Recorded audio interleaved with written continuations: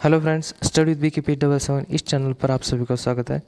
Friends कल से पाँच तारीख से आईटीआई की आई टी इंस्ट्रक्टर इस पोस्ट के लिए टूल्स एंड डाई इस इंस्ट्रक्टर पोस्ट के लिए कल से एग्ज़ाम चालू होने वाले सी बी टी टू तो इस एग्ज़ाम में कुछ इम्पोर्टेंट क्वेश्चंस आएँगे।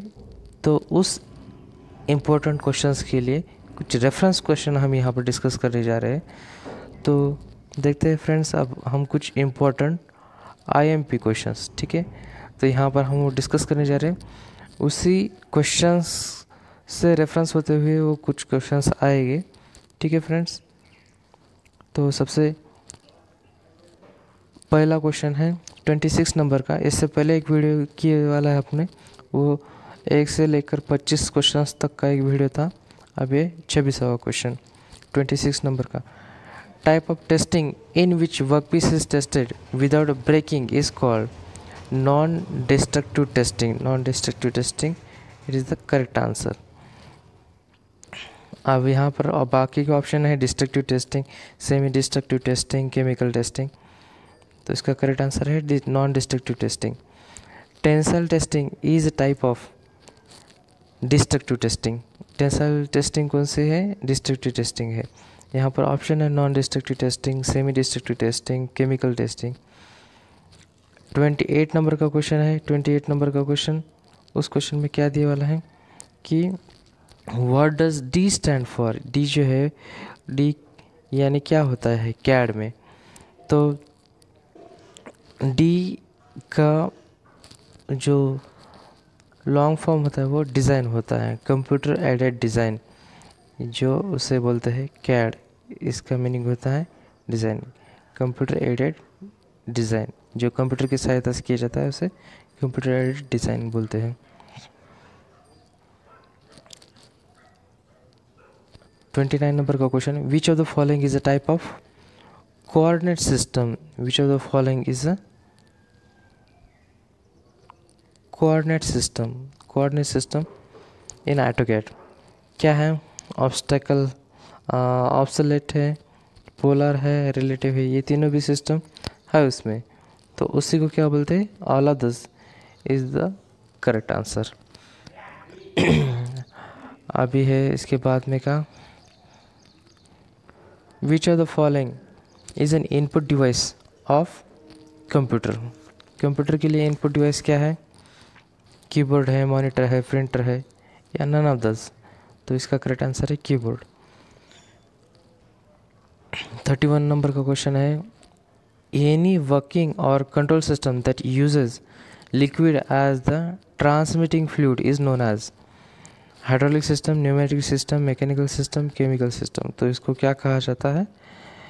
हाइड्रोलिक सिस्टम एनी वर्किंग और control system that uses liquid जहाँ पर लिक्विड का यूज़ किया जाता है तो transmitting fluid is known as that transmitting fluid is known as hydraulic system pneumatic system में क्या यूज़ किया जाता है? न्यूमेटिक सिस्टम में एयर यूज़ किया जाता है।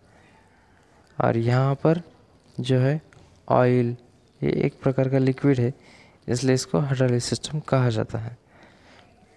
थर्टी टू नंबर का question sensors are dash element in electro pneumatic circuits.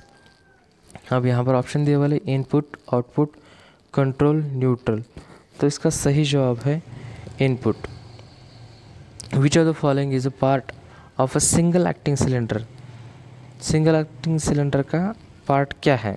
Piston है पिस्टन रॉड है सील है. तो हम देखते हैं कि जो पिस्टन होता है, जो पिस्टन होता है तो सिंगल एक्टिंग सिलेंडर में पिस्टन की पार्ट क्या क्या होते हैं? समझो कि पिस्टन है। देखिए, ये पिस्टन। और यहाँ पर जो अंदर से लगी वाली रहती है, ये कनेक्टिंग रॉड रहती है। ठीक है? ये है कनेक्टिंग रॉड इसको शॉर्टकट में सी आर कहेंगे। ये पिस्टन है। ठीक है? तो ये पिस्टन है, पिस्टन रॉड है, और सिल रहते हैं यहाँ पर। ये साइड को जो है ना, पिस्टन रिंग लगे वाले रहते हैं। तो ये क्या है? पिस्टन रिंग के ऊपर के साइड को यहाँ पर सीलिंग लगे वाली रहती है। तो ये सभी क्या है?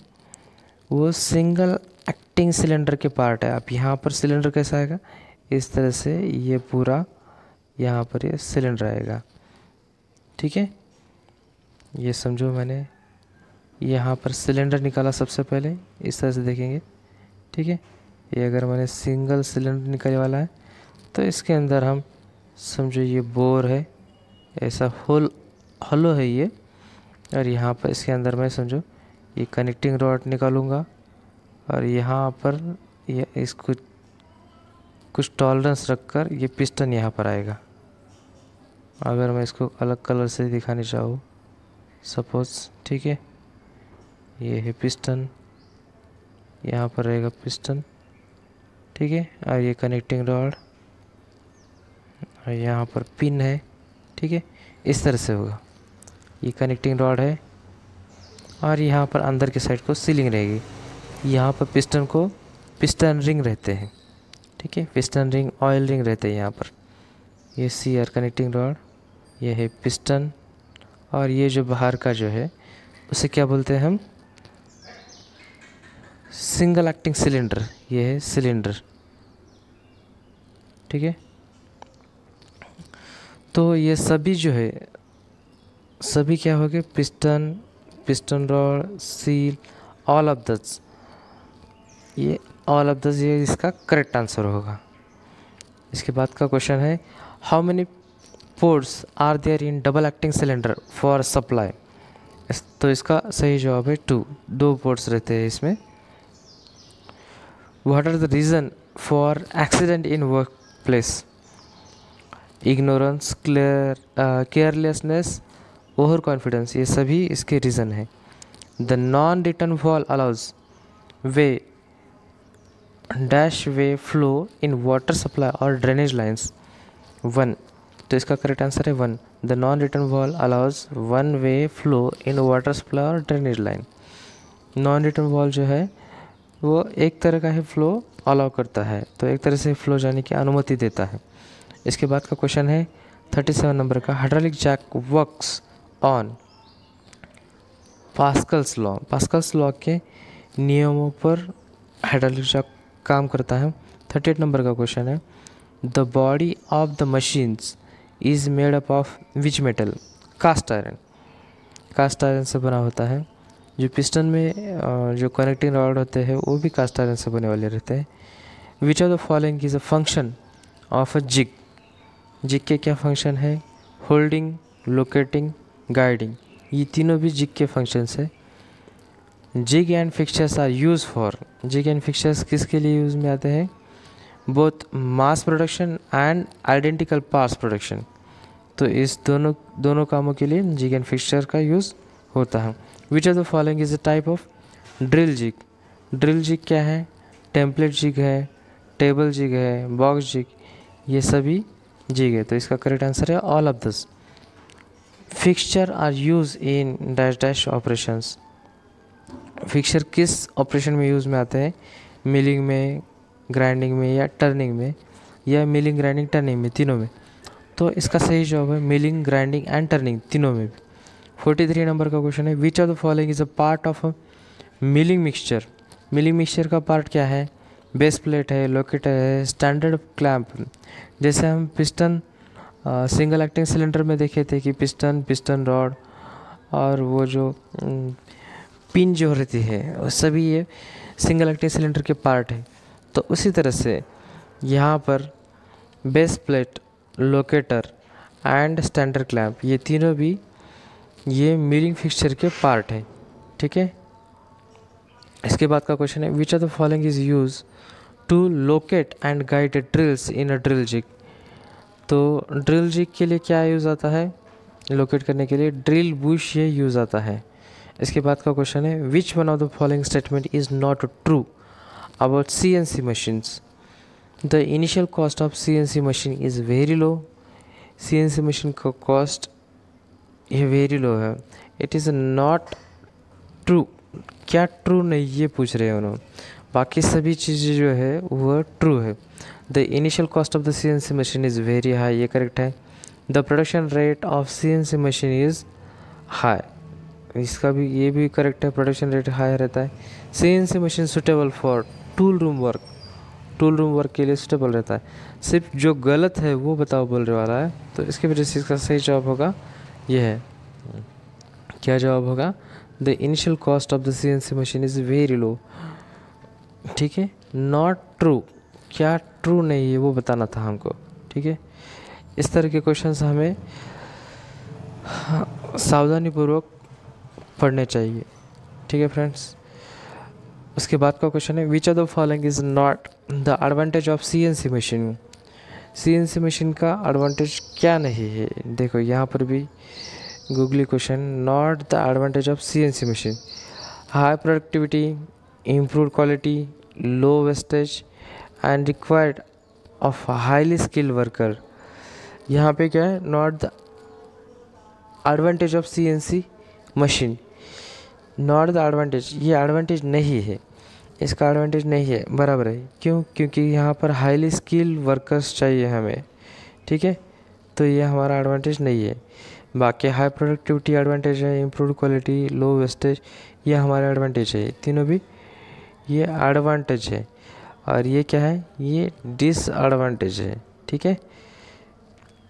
इसका बाद का क्वेश्चन है which one of the following is a preparatory code of C N C control तो यहाँ पर देखिए G is the preparatory code G is the preparatory code है।